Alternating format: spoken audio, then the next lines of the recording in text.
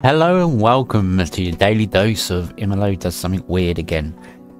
So, after my Z, uh, ZRAM video, been getting a few comments around the internet about looking into Z-Swap. Now, let me uh, do a little a bit of reading from the wiki, because we like reading from wiki.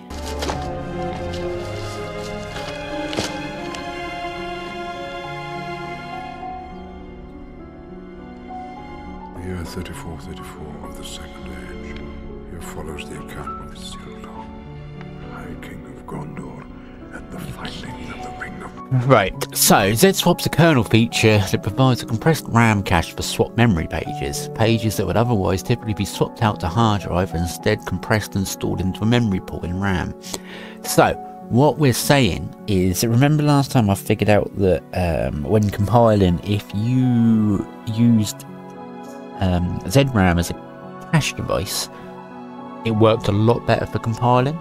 Um, I've also seen that on some low spec hardware. So the uh, um, the lovely CloudBook with its two gigabyte memory, I put a 256 memory uh, megabyte ZRAM partition on top of it, and I've actually noticed video playback's been a lot smoother in Firefox and it's doing that. Let's get back to this one. So the differences between Z, uh, Z swap and ZRAM base swap. Sure, overview. Z swap works in conjunction with a regular swap file, while ZRAM based swaps does not require a backing swap device and may work standalone if no swap is on the hard drive. Yeah.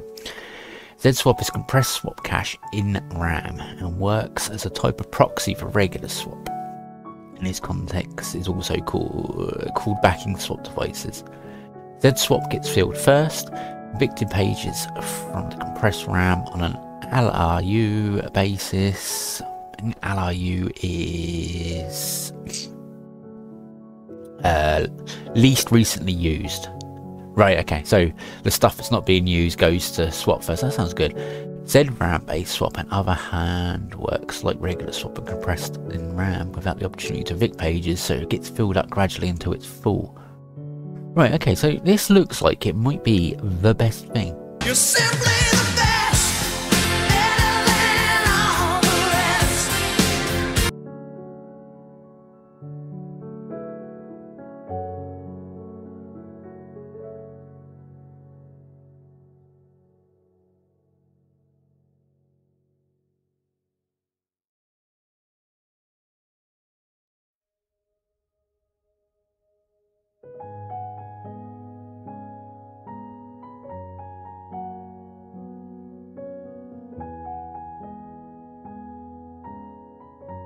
So we've built about a bit longer than normal. Let's uh, do a qlop.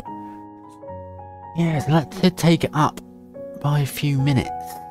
It was a little bit slower. I wonder if there's anything. Okay, let's try performance tweaks. So we're gonna edit uh, grub now. Nano slash etc. Defaults grub.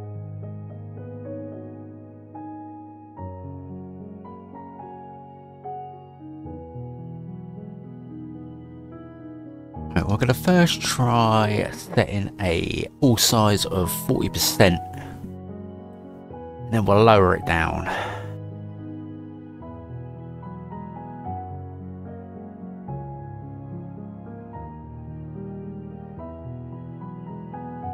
Yep, that's all loaded. So yeah, let's reboot into this. Uh, ooh, what I'll also do is set up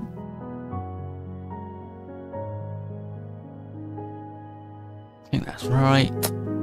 Looks good to me. Right, let's reboot.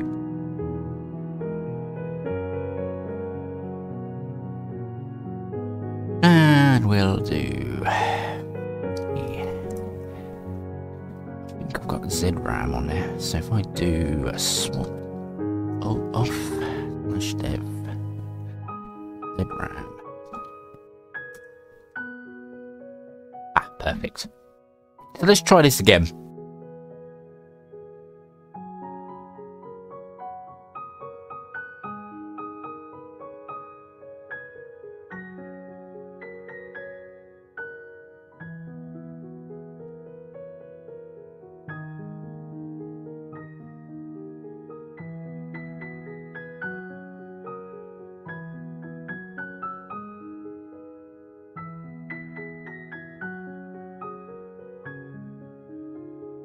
So we've got this one built.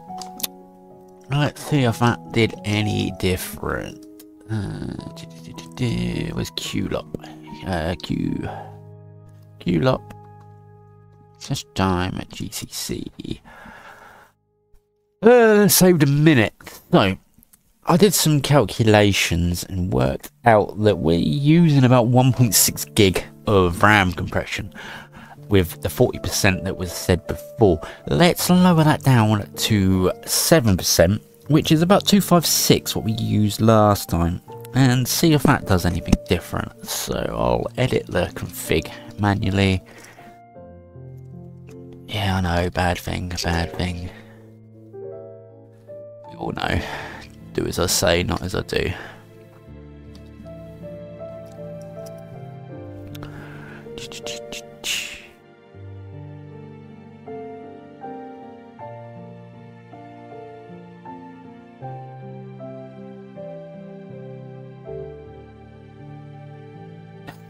So seven percent's about two two sixty megabytes. A little bit more than we was using last time, but let's let's give it a go. Right, let's reboot. Make sure that is set. Yep. Control X.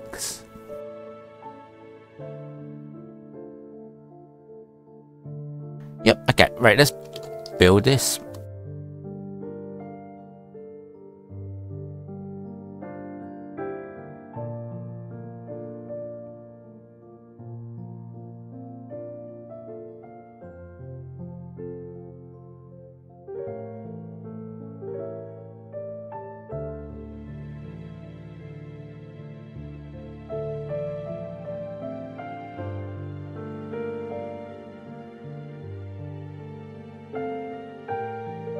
Okay, so that's done.